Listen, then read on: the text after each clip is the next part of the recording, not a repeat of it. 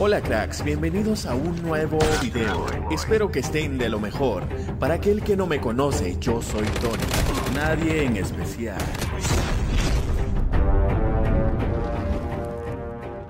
Antes de empezar con el video, soldados, quiero decirles algo como camaradas de guerra. Primero que todo, muchas gracias por apoyar mi contenido y de seguir viendo mis videos. Eso es muy importante para mí.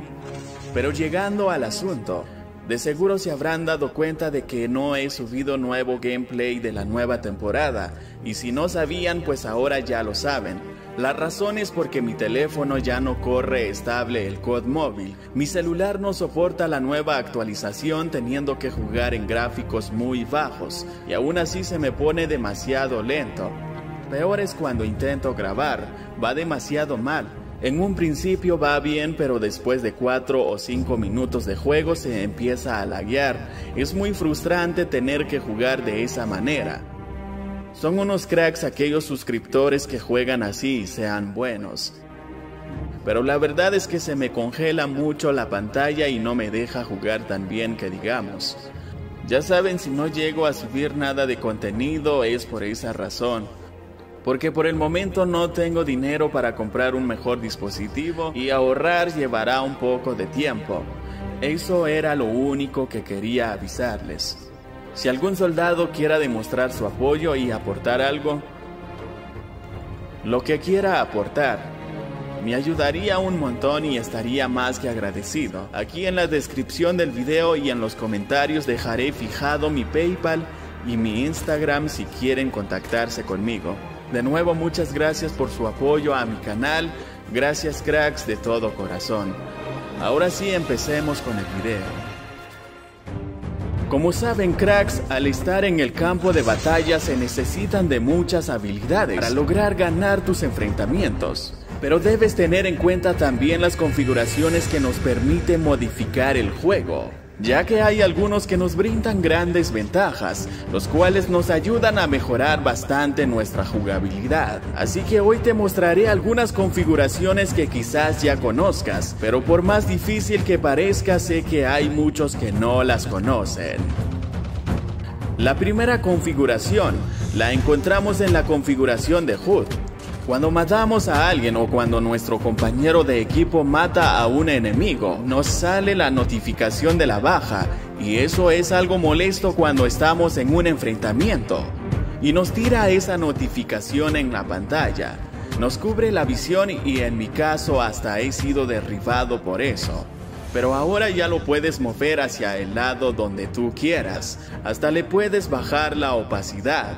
En mi caso lo dejaré en esta parte de la pantalla. Segunda configuración, cantidad de daño. Es una configuración muy importante y es necesario que lo actives, ya que esto nos permitirá ver cuánto de daño le causamos a un enemigo por cada disparo.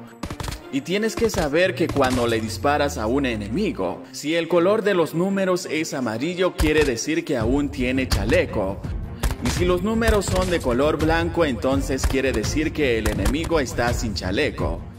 Para poder rushearlo lo más rápido posible antes de que se cure. Así que te recomiendo activarlo, crack. Y aumentar la opacidad también. Tercera configuración es el sonido. Para poder escuchar bien los pasos de tu oponente tienes que configurar bien el sonido te recomiendo disminuir el volumen de estos sonidos, el volumen ambiental.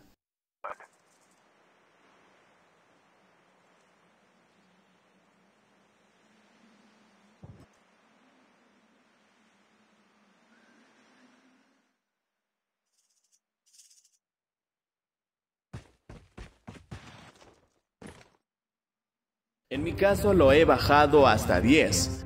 Esto hará que podamos escuchar claramente los pasos o movimientos del enemigo cuando se esté acercando, ya que el poder escuchar los movimientos de tus enemigos es una gran ventaja, aumentará tu velocidad de reacción para atacar antes que él, ya que sabrás de qué dirección se está acercando. Este sonido también te recomiendo bajarlo ya que no es muy necesario, Este es el sonido que hace a la hora de presionar algún botón.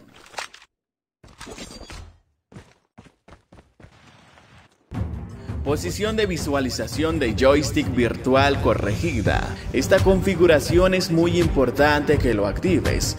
Quiero aclarar esto, no tiene la misma función que el joystick fijo.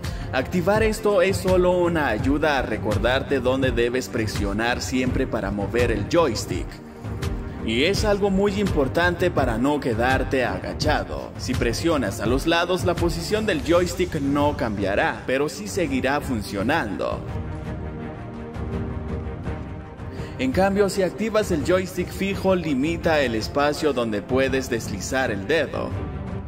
Y si tu dedo llega a deslizarse por error a este lado de la pantalla, terminarás girando la cámara.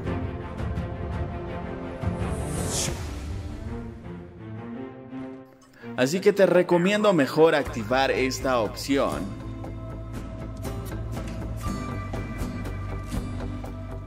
Crack, esto ha sido todo. Espero que estas configuraciones te puedan servir. Te deseo suerte en todos tus enfrentamientos. Que no se te olvide suscribirte y compartir el video. Hasta pronto, cracks.